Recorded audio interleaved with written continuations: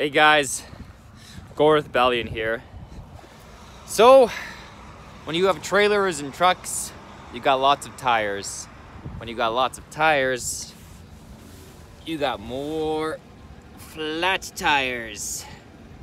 But, uh, I got a little compressor there, and I can plug it into the old truck.